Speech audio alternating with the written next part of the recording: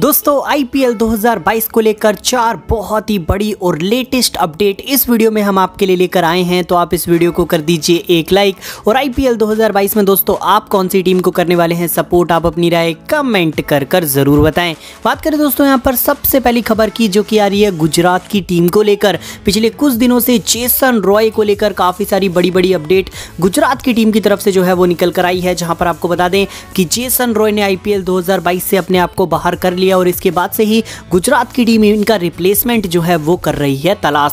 जहाँ पर दोस्तों पिछले कुछ दिनों तक सुरेश रायना एक बहुत ही बड़ा नाम था जो कि यहाँ पर चर्चाओं में था, लेकिन गुजरात की टीम ने क्लियर कर दिया है कि सुरेश रायना उनके यहाँ पर स्कीम ऑफ़ थिंग्स में नहीं है, यानी कि सुरेश रायना को ये टीम एज अ रिप्लेसमेंट नहीं लेकर आने वाली, यानी कि रायना के फैंस के लिए ये काफ़ी बुरी खबर जो है वो निकल कर आई थी। और इस समय जो बड़ी अपडेट है वो ये कि एरन फिंच से दोस्तों ये टीम बातचीत कर रही है। एरन फिंच यहाँ पर जेसन रॉय को रिप्लेस जो है वो करने वाले हैं। जहाँ तक की दोस्तों खबर है, वो यही कि एरन फिंच यहाँ पर गुजरात की टीम में आते हुए हमें नज़र आएँगे। अगली जो अपडेट है, वो है दोस्तों आईपीएल 2022 के शेड्यूल को लेकर। फाइनली बीसीसीआई ने आईपीएल 2022 का शेड्यूल जो है वो लॉन्च कर दिया है, जहाँ पर चेन्नई सुपर किंग और केकेआर की टीम पहला मुकाबला खेलेगी 26 तारीख को। दूसरा मुकाबला होगा मुंबई इंडियंस और दिल्ली कैपिटल्स के बीच। तीसरे मुकाबले में दोस्तों आरसीबी की टीम हमें भिड़ते हुए आने वाली है नज़र। और यहाँ पर दोस्तों आपको बता दें कि पूरा अगर आपको देखना है तो आप हमारे टेलीग्राम चैनल पर जाकर देख सकते हैं, जिसका लिंक आपको डिस्क्रिप्शन में मिल जाएगा।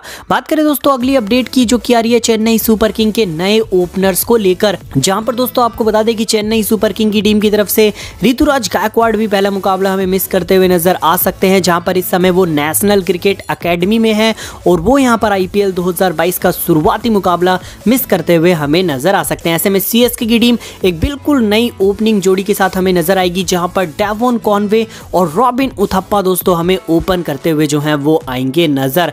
रॉबिन उथप्पा पिछले साल चौथे नंबर पर खेल रहे थे, लेकिन इस साल अगर ऋतुराज गायकवाड़ मिस करते हैं मैचेस तो Robin Uthappa as a opener हमें नज़र आ सकते हैं। बात करें दोस्तों यहाँ पर चौथी और आखिरी अपडेट की, जो कि चेन्नई सुपर किंग के प्रैक्टिस कैंप को लेकर है। सबसे पहली टीम सीएसके की टीम बनी है, जिन्होंने अपना प्रैक्टिस जो है वो शुरू कर दिया है। इस समय दोस्तों इस टीम का प्रैक्टिस कैंप जो है वो सूरत में शुरू हुआ है, जहाँ पर एम एस धोनी भी प्रैक्टिस करते हुए नज़र आ रहे हैं। इसके बाद दोस्तों, ये टीम अगले कुछ ही दिनों में मुंबई के लिए रवाना होगी और वहाँ पर अपने प्रैक्टिस को जो है वो करेगी शुरू। तो ये सारी अपडेट दोस्तों, इस वीडियो में हम आपके लिए लेकर आए थे। आशा करते हैं वीडियो आपको काफ़ी ज़्यादा पसंद आई हो। पसंद आई हो तो लाइक ज़रूर करें और चैनल को सब्सक्राइब करना बिल्कुल भी ना भूलें।